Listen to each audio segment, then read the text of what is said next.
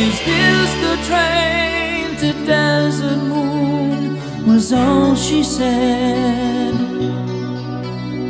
But I knew I'd heard that stranger's voice before. I turned to look into her eyes, but she moved away.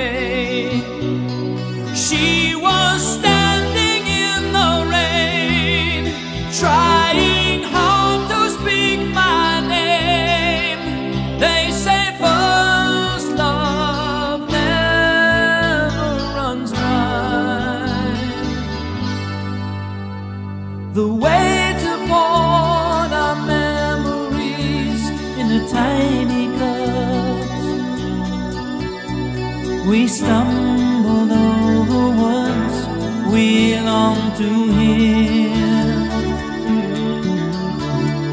We talked about the dreams we'd lost or given up.